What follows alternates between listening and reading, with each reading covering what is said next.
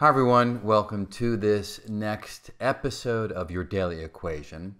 And today, I think it's going to be a quick episode. Sometimes I think it's going to be quick and then, you know, I keep on going forever. But this one, all I want to do is say a few remarks about Schrodinger's equation.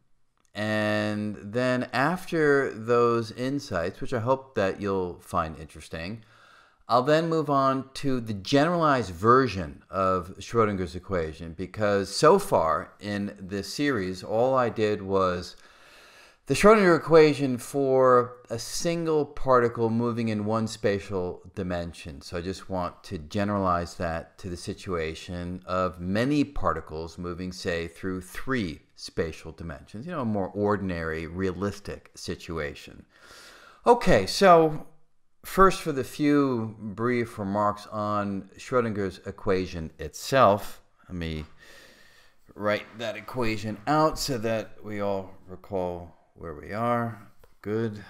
All right. So remember what Schrodinger's equation was. It said I h bar d psi, say of x and t dt equals minus h bar squared over 2m d2 psi of x t dx squared.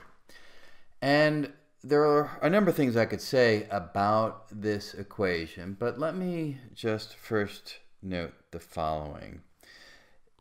It is perhaps a little bit strange that there is an i in this equation, right? You're familiar from your studies in high school that i as the square root of negative 1 is a useful idea, a useful concept to introduce mathematically, but uh, you know, there's no device that measures how much in an imaginary sense a quantity may be. Like devices measure real numbers. So at first blush, you might be a little bit surprised to see a number like i cropping into a physical equation. Now, first off, bear in mind that when it comes to interpreting what psi is telling us physically, remember what we do. We talk about probability of x and t, and we immediately look at the norm squared, which gets rid of any imaginary quantities, because this guy over here, this is a, a real number, and it's also a non-negative real number. And if properly normalized, it can play the role of a probability. And that's what Born, Max Born told us, that we should think about this as a probability of finding the particle at, say, a given position at a given moment in time. But I'd like you to recall in our derivation of Schrodinger's equation where the I actually came in in a, in a more mechanical sense. And you'll recall it came in because I took this ansatz, this starting point for what a probability wave might look like, as e to the i kx minus omega t. And you know, there's your i right there. Now remember, this is cosine of kx minus omega t plus i sine of kx minus omega t. And when I introduced this particular form, I said, hey, this is merely a convenient device for being able to talk about cosine and sine simultaneously, not sort of having to go through a calculation multiple times for each of those possible wave shapes. But I actually slipped in something more than that in the derivation because you'll recall that when I looked at, say, d psi dt, right? And of course, we look at this expression over here, and we can just get that to be minus i omega e to the i kx minus omega t, namely minus i omega psi of x and t.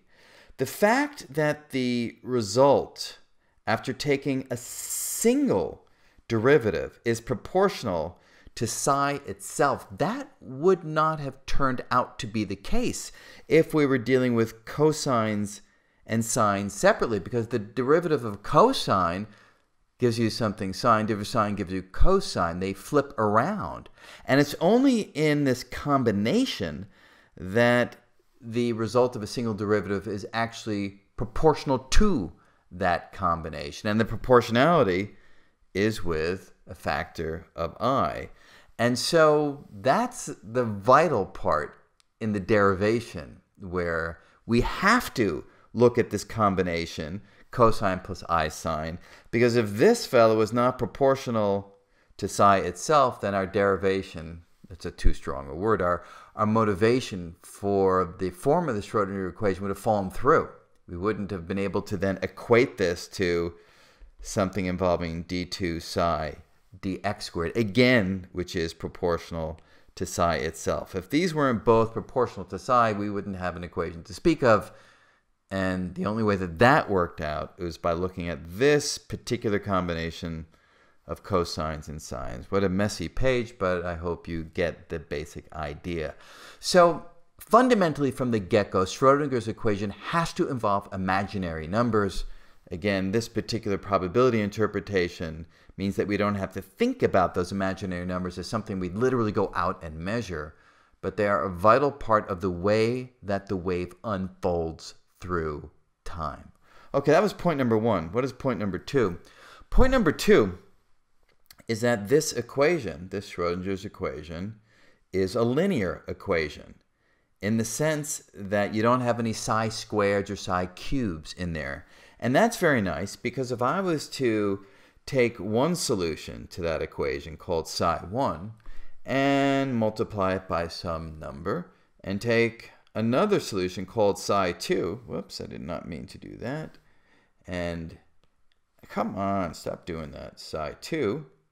Then this would also solve the Schrodinger equation. This combination, because this is a linear equation, I can look at any linear combination of solutions and it too will be a solution. That's very, very vital. That's like a key part of quantum mechanics. It goes by the name of superposition, that you can take distinct solutions of the equation, add them together, and still have a solution that needs to be physically interpreted. We'll come back to the, the curious features of physics that that yields, but the reason I'm bringing it up here is you'll note that I began with one very particular form for the wave function involving cosines and sines in this combination. But the fact that I can add multiple versions of that ansatz, say, with different values of k and omega standing in the right relationship so that they solve the Schrodinger equation, means that I can have a wave function psi of x and t which is equal to a sum, or in general an integral, of the solutions that we studied before, sum of solutions of the canonical sort that we began with. So we're not limited, is my point, to having solutions that literally look like that. We can take linear combinations of them and get wave shapes of a whole variety of much more interested, much more varied wave shapes. Okay, good. Those are the I think those are the two main points that I wanted to quickly go over. Now for the generalization of the Schrodinger equation to multiple spatial dimensions and multiple particles. And that's, that's really quite straightforward. So we have IH bar d psi dt equals minus h bar squared over 2m psi of x and t. And, you know, I was doing it for the free particle case, but now I'm going to put in the potential that we also discussed in our derivation. So that's for one particle in one dimension. What would it be for one particle, say, in three dimensions? Well, you don't have to think hard to guess what the generalization would be. So it's IH bar d psi. Now, instead of having x alone, we have x1 x2, x3, and t. I won't write down the argument every time, but I will on occasion when it's useful. What will this be equal to? Well, now we'll have minus, oh, I left out the d2, dx squared here. We'll have minus h bar squared over 2m dx1 squared psi plus d2 psi dx2 squared plus d2 psi dx3 squared. We just put all of the derivatives, all the second order derivatives with respect to each of the spatial coordinates, and then plus v of x1, x2, x3 times psi, and I won't bother writing down the argument. So you see that the only change is to go from d2 dx squared that we had in the one-dimensional version to now including the derivatives in all of the three spatial directions. Good. Not, not too complicated on that. But now let's go to the case where, say, we have two particles, not one particle, two particles. Well, now we need coordinates for each of the particles, spatial coordinates. So like the time coordinate will be the same for them. There's only one dimension of time, but each of these particles has their own location in space that we need to be able to ascribe probabilities for the particles being at those locations. So let's do that. So let's say that for particle 1, we use, say, x1, x2, and x3. For particle 2, let's say we use x4, x5, and x6.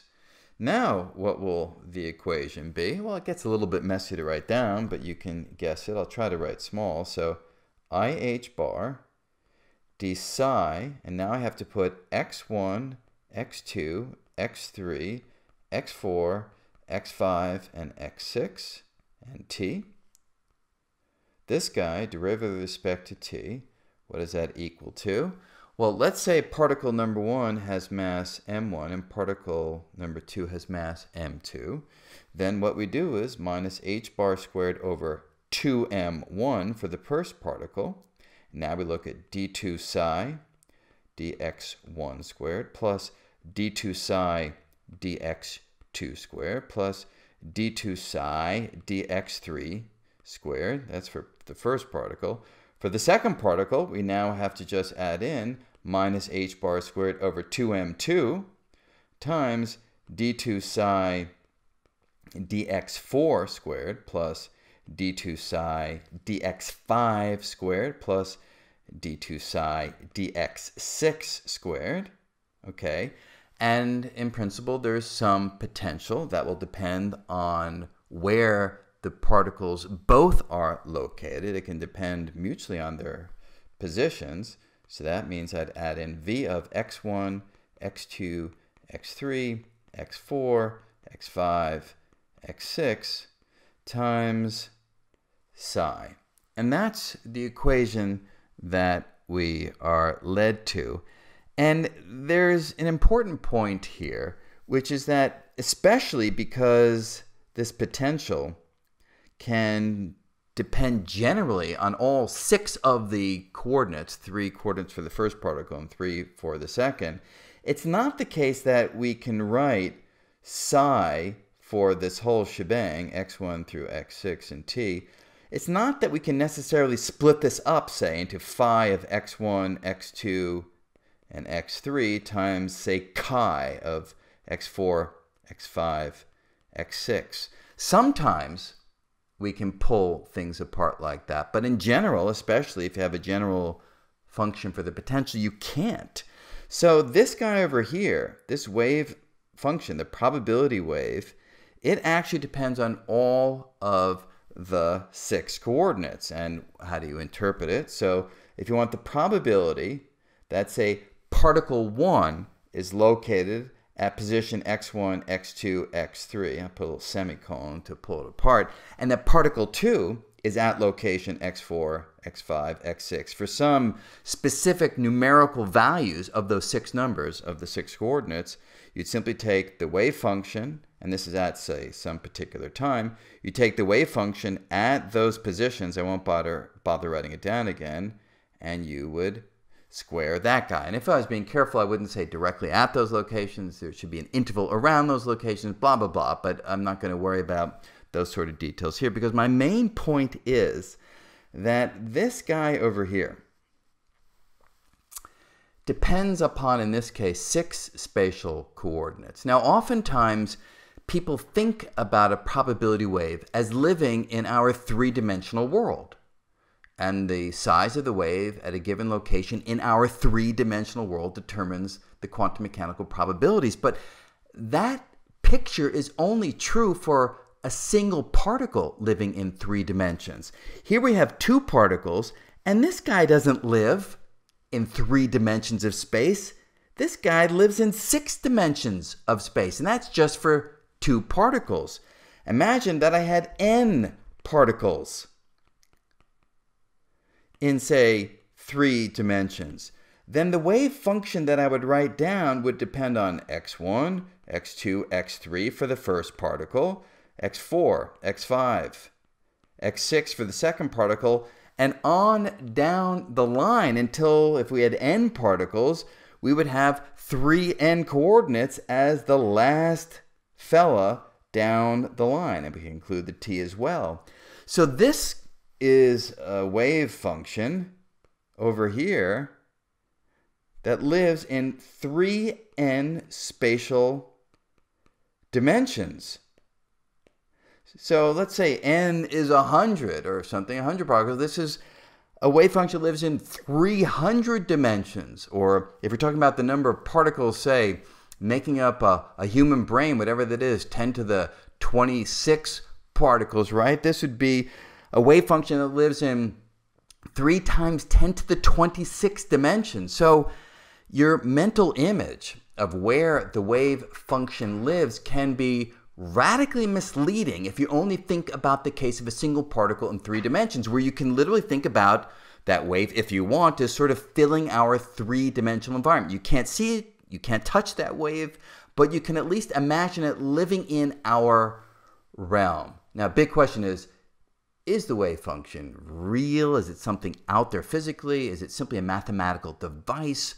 These are deep questions that people argue about, but at least in the single particle three dimensional case, you can picture it, if you want, as living in our three dimensional spatial expanse. But for any other situation with multiple particles, if you want to ascribe a reality to that wave, you have to ascribe a reality to a very high dimensional space because that's the space that can contain that particular probability wave by virtue of the nature of the Schrodinger equation and how these wave functions look.